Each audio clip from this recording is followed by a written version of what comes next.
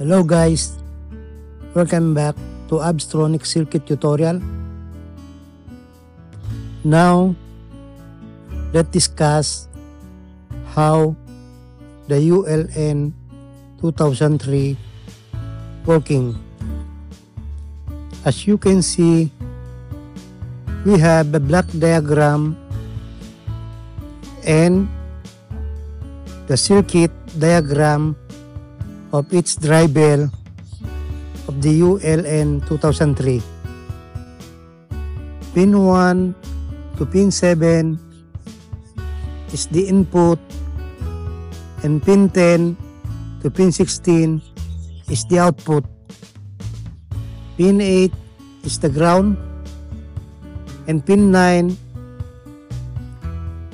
is the common which is the freewheeling diodes to protect the internal transistor and also to test the output load. Now, let's analyze the driver and let's see how it works. So when the input is logic high, then the transistor 1 will be activated so the current from the output flowing through the collector of the transistor 1 and going out from the emitter and flowing to the base of the transistor 2 and goes out to the emitter and back to the ground. Then the current flowing through the collector of the transistor 2 and goes out through the emitter and back to the ground. And you can see the LED is glowing. So remember guys,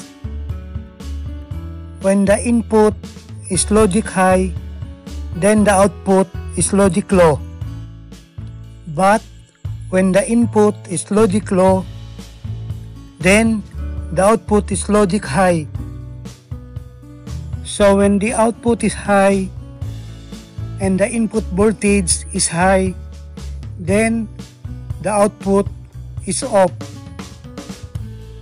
So the input must be logic high so that the output is logic low to activate the output.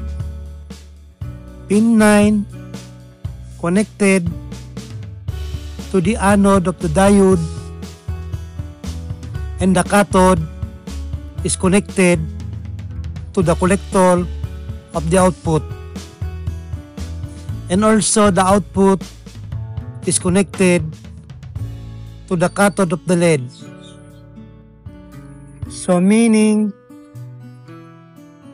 when the common connected to the ground, then the output will be activated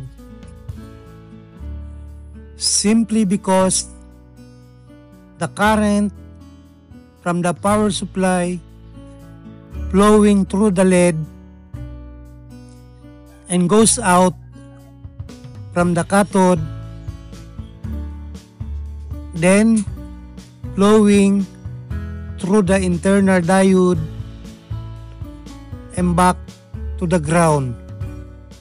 That is why pin 9 also used to test the output load. So that is how the ULN 2003 works.